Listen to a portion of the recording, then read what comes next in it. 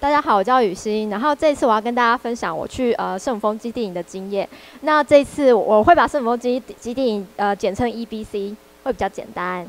然后呃我们出发呃这个是诶哦，在我我们出发是从我们选择了传统的路线，就是从居里出发，然后走了二十天，总共两百一十公里的路程。然后到了圣母峰的基地营，就是五千三百六十公尺呃公尺的高度。那一般人会从那个小飞机的地方搭飞机上去，跟搭飞机下来。那行前呢，我们跟我们的向导在加德满都做行前的准备跟一些呃采买。那隔天我们就搭乘他们的楼呃当地的呃公车，到了第一个山庄，就是呃居里。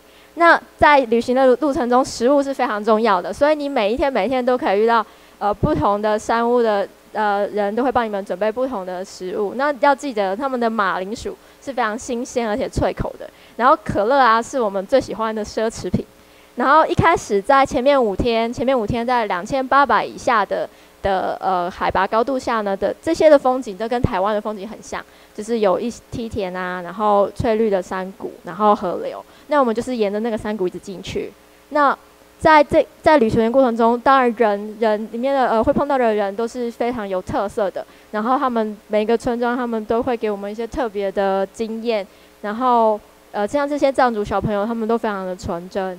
那因为我们是长途的旅行，所以我们每天都会控制在每天他会走到六跟七个小时，趁太阳下山之前到达山屋，然后开始晒太阳。因为呃我们是冬天出发的，所以其实没有太阳的时候都是零度以下。然后，因为这个山径是完全没有车子的，所以所有的东西都是人，然后动物，然后背上去的。那像他们当地的人，如可背的负载量都差不多都是五十到六十公里呃公斤。然后这次这个是我们第一次第一次看到呃圣母峰，它小小的，它在山脉的算过来第二个。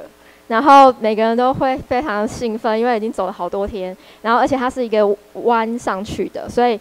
你就进入连连，就是哇，一个就是圣母峰，然后每一个呃山庄的入出入口都会有他们当地的特色，就是他们是藏传佛教，所以他们会把他们的经文刻在大石头上面，然后或是像这一张，他们会有一个呃门，像这个门出去之后，也就是山脉了。那这个门里面的左边跟右边就是转经轮，然后上面就是唐卡，然后呃接下来呢？哦，接下来的话呢，我们就 接下来的话，我们就走到了这个地方，它就是牛奶河，然后它是冰川冰川下来的河，然后就是看起来非常的，那时候看到的时候非常的有动感，而且冷冽。可是事实上，我们要穿过这个牛奶河一直往上，其实是非常辛苦的事。然后这两张呃，这张的照投影片呢是呃。叫南池市场的地方，然后一般人会在那边停两天做高度的适应。可是像这张图右下角有一个人在跑步，那是那时候在办那个高山马拉松。然后有一些比较奢侈的有钱的的团的话，他们可能就只走到南池市场，然后远眺圣母峰，然后就再搭飞机回去这样子。然后呃，接下来就是四千公尺了，四千公尺以上就完全没有植被了。然后呃。进入眼帘的，就是呃，像这样子的山脉的山景啊，然后没有也没有云了，就是非常清澈的天空。然后最后这边走到了昆布冰河的上面，然后只要继续往前走到那个右转角的地方，就是圣母峰的基地，就是许多登山者的起点，可是是我们的终点。然后呃，我们我们走在那个冰上的时候，其实还蛮兴奋的，还可是还是有些人会高山症。然后因为我没有带国旗，所以我放了山屋里面有人贴国旗的照片。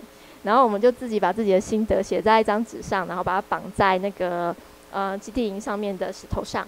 然后那天刚好是我生日的前一天，所以是对我来讲是一个很大的礼物。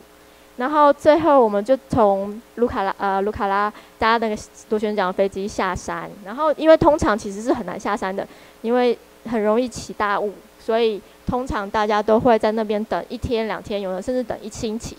然后就会很混乱，然后很多六十岁、七十岁的啊老伯伯们，他们的梦想也是要去圣母峰，所以他们不管不管何时何地，或是你几岁，只要你想去，其实你随时随地都可以去的。好，这就是我很简单的圣母峰的分享。然后如果如果大家有兴趣的话呢，可以找我们的向导。呃，他是杠杆古龙，然后古龙族的，然后对，拜拜。好，呃，非常谢谢。